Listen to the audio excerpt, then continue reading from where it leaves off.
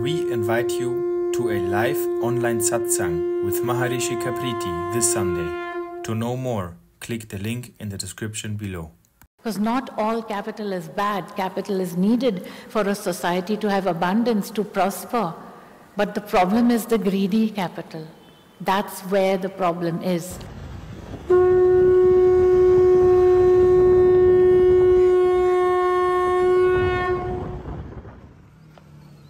My question is about the entering of capital in Bharat. What are some of the things that I, as an individual, can learn from the cycle of capital having entered, for example, in the past into China and now pulling out of there? Leaving behind devastation, destruction, a lot of despair also, I feel. What capital does is it erodes the fabric of a society and it erodes it most of all by attacking the family, the family unit. So when greedy capital starts to enter into an area of the world, money gets injected into the family unit and and exactly that's what happens. The light goes out, you know.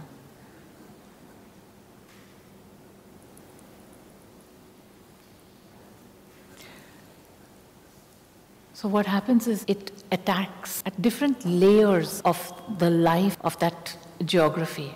At the family level, what it does is it starts injecting money into the family, and wherever there is an abundance of money and the desires are encouraged through advertising, people will start to go more towards feeding their desires than going with the truth of their system and the interest of the family.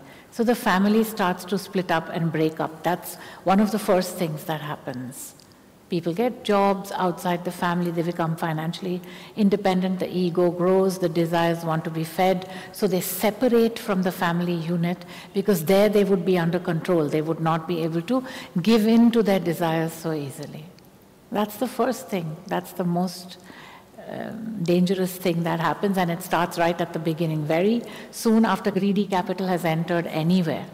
And this applies to all over the world, it applies to America itself. Greedy capital doesn't have a nationality, it can be from anywhere. The individual is only seen as a, as a consumer and nothing more than that. So, obviously, that will be the first thing. The individual will be trained to desire and consume. The moment the joint families are broken up, the next thing that happens is the individual families are broken up because individuals consume more than families do. So even the nuclear family will gradually break over a period of time because the single is a more interesting consumer than if that single is in a partnership and has children. Then the money is distributed, so it doesn't go to capital, but it goes to the consumer consuming the basic things it needs for survival. So it is in the interest of greedy capital to maintain the population as singles rather than to encourage family. Then greedy capital starts to sell things to people that they that harm them. One of the biggest, uh, the most harmful thing you can imagine or think of is sugar. It underlies most of what greedy capital is trying to push down the throats of a population. So that is one area in the emotional, in the food area, in that chakra that gets overtaken. And then, of course, in the conceptual, there is the entire projection of all the desires that need to be fulfilled, which comes through advertising in the conceptual. And this, this is how greedy capital takes over. And then what happens is, is that it, once the society has broken down into single entities, it starts to suck out from the single entities as much as it can. So all the singles, I'll give an example of Zurich. As greedy capital started to take hold of Swiss society, which was from the 40s onwards, the society started to crumble slowly but surely. By the time the 70s came, uh, the idea of marriage was not that accepted anymore. By the time the 80s came, the idea of children was not anymore in fashion. By the time the 90s came, you had yuppie partnerships, and now you have, you know, large numbers of the population just refusing to have children, and, and all the focus is on consuming and feeding desires, which would be fine, but what you're consuming is harming you. So, what you have then is a society that is gradually more depressed because there is nothing to live for except to fulfill desires. And at one point, after you've fulfilled so many desires, you, you know that there's nothing more you can do to fill the void which has been created by the lack of family, the lack of the, the nuclear family, the lack of partnerships. A lot of people are singles because they don't want to be in partnerships because if you're in a partnership, you can't give in to, to your desires as much. So this starts to become then a society which starts to lose its, its raison d'etre, its reason for existence, which would be to propagate itself. Like in Italy now, there is a zero birth rate. So a society which is not uh, propagating itself into the next generation will actually crumble. And with it will crumble its culture, its language, its religious leanings. Its entire story crumbles into the past. So it is a self destructing model, actually. And if a culture does not want to self destruct, and I think Sanatani culture should be careful about self destruction because if Sanatani culture self destructs, then the idea of freedom disappears freedom of spiritual choice. Because then you have basically the founder religions and you have the religion of greedy capital. And that leads to a lot of suffering and misery. So it is in the interest of the population here, firstly, to hold on to family, even though family can be quite challenging. To realize that if you're breaking up the family into nuclear families, you're already on a slippery slide. And if that happens, at least that the, that the nuclear family attempts to maintain its sanity, and it maintains that by being extremely careful about what is consumed. It's better not to buy than to buy. It's better not to take it than to take it. it's better not to eat those sweets. The sugar is, is one of the biggest enemies. It underlies everything in the food area and it mesmerizes people and it pulls them in and then it swallows them. And not to be fooled by the jobs that capital dangles because those jobs are here today, they'll be gone tomorrow, like has happened with China. I mean, China is in trouble economically now because they're moving out of China and they're moving into India. They're going to do the same thing here. It's not any different. In another 30 years, 35, 40 years at the max, India will become an enemy, and then it takes the same route as China and Europe and America itself. So the danger faced by the Indian subcontinent is the danger of consumption. Don't be fooled by the advertising.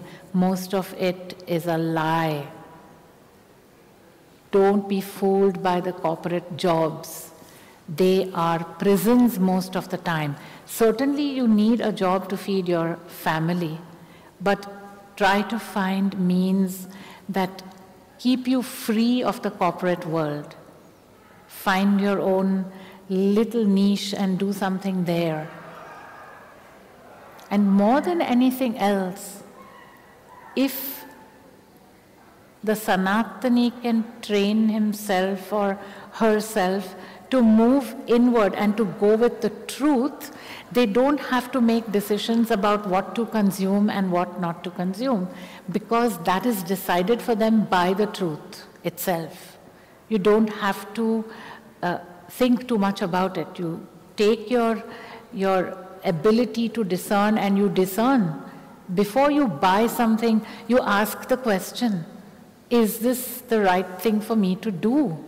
And you know if it's the ahankar, the loud noise of the ahankar, or if it is the truth. And then you go with the truth rather than with the ahankar or the ego. These are the things that can be undertaken, but the dangers are very, very palpable, and greedy capital is very powerful. Greedy capital, it takes something to stand up against it. Basically, the big key is to say, no, I don't want to buy this. First, say no. Just no to everything. And once in a while, give in a little bit to buying something here or there. That's it.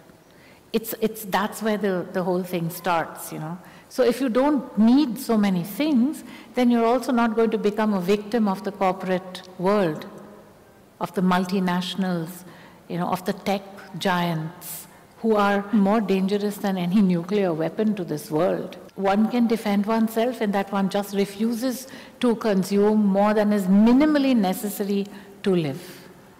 That's the, that's the trick. You know, in India, in Bharat, people have traditionally saved at least a fifth of their income in gold. So India has the largest private reserves of gold in the world. It's more than the entire world put together. Private reserves, not government owned. It's a very big strength, that power to, to keep aside something because you don't use it all up for consuming. So it's a different approach. It's a way of welcoming capital, but standing up against greedy capital. Because not all capital is bad. Capital is needed for a society to have abundance, to prosper. But the problem is the greedy capital. That's where the problem is. And if, if India is smart and careful, then one can have the advantages of capital without the disadvantages of greedy capital. And that, that's the, the tightrope that has to be walked now. Because you can't say no to capital when it's coming, it comes. It decides to come, it comes, you know. They tried to keep it out for some time, for some decades, but now it's in, you know, with a vengeance. If each time, each person in this country, or actually anywhere in the world, asks the question before they consume something, it's that simple. Is it really something for me to consume? And if they realize the difference when it's the ego and when it's the truth, and they go with the truth, literally the battle is won. And it's not that difficult to do. And nobody can put you in jail for that. I remember about 15 years ago, I came to India and I was watching TV and I saw an ad, a commercial and it was of women sitting in a village, and they were sitting with their legs crossed. And one of the women had, uh, had cracks on her feet. And all the women in the sabha were looking at her feet and, and going, Ooh, look at her feet. And they were selling a cream to put on the feet to soften the feet.